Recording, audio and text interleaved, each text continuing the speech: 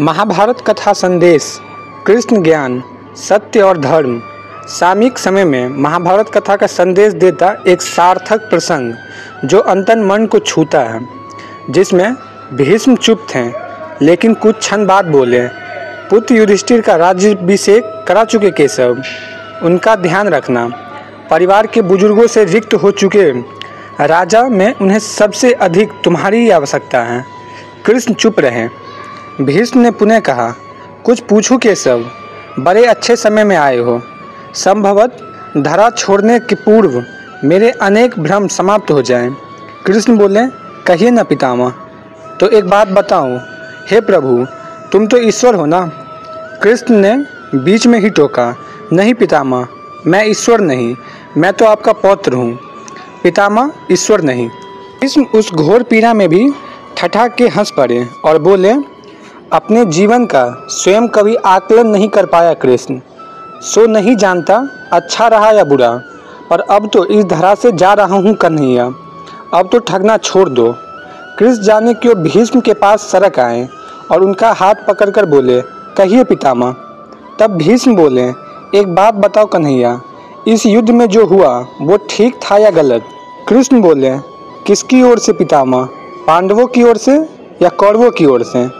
कौरवों के कर्तव्यों पर चर्चा का तो अब कोई अर्थ ही नहीं रहा, कन्हैया।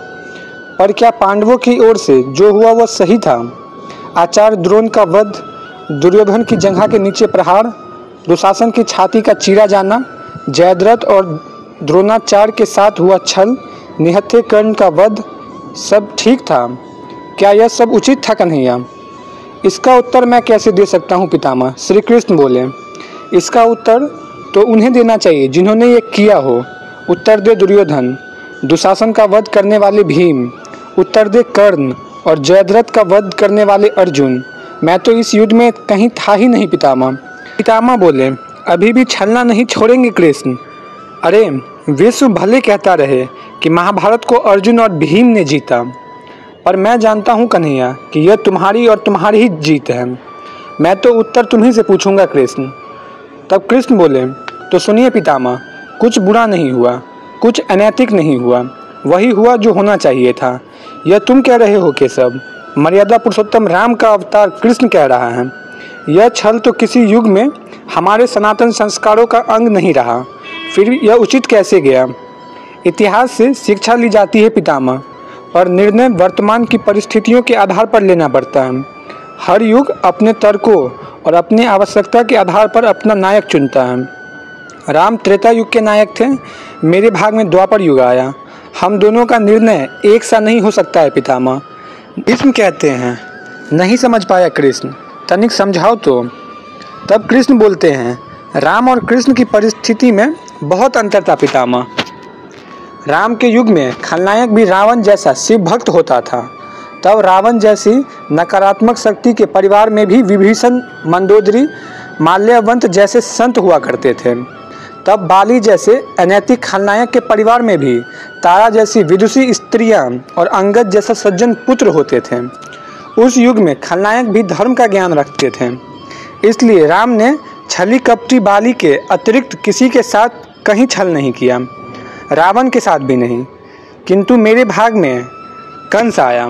जरासंग आया। दुर्योधन, दुशासन, शकुनी, जयद्रथ जैसे अनेक घोर पापी आए। उनकी समाप्ति के लिए हर छल उचित है पितामह। पाप का अंत आवश्यक है पितामह। वह चाहे जिस विधि से हो। तो फिर पितामह बोलते हैं तो क्या तुम्हारे इन निर्णयों से गलत परंपराएँ नहीं प्रारंभ होगी केशव? क्या भविष्य तुम्हारे इन छलों को अनुसरण नहीं करेगा? और यदि करेगा तो क्या यह उचित होगा? तब कृष्ण बोलते हैं भविष्य तो इससे भी अधिक नकारात्मक आ रहा है पितामह। कलयुग में तो इतने से भी काम नहीं चलेगा। वहाँ मनुष्य को कृष्ण से भी अधिक कठोर होना होगा, नहीं तो धर्म समाप्त हो जाएगा।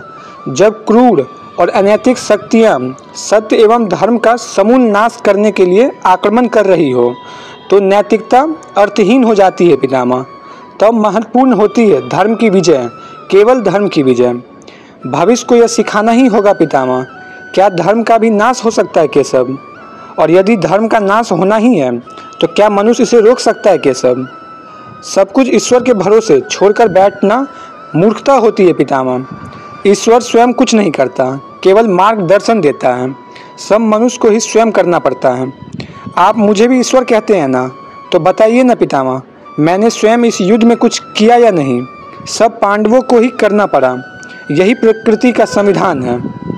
युद्ध के प्रथम दिन, यही तो कहा था मैंने अर्जुन से। यही परम सत्य है। भीष्म अब संतुष्ट लग रहे थे।